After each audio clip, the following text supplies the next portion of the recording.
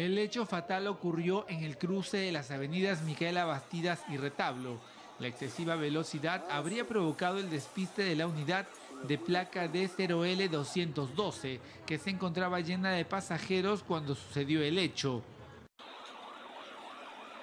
Varios de ellos resultaron con heridas leves. La mujer fallecida era una transeúnte que fue embestida por la cúster. Su cuerpo quedó tendido bajo el vehículo. Una ambulancia de los bomberos llegó al lugar, pero solo pudieron certificar su muerte. Peritos de criminalística y personal del Ministerio Público acudieron al lugar para realizar las diligencias de ley.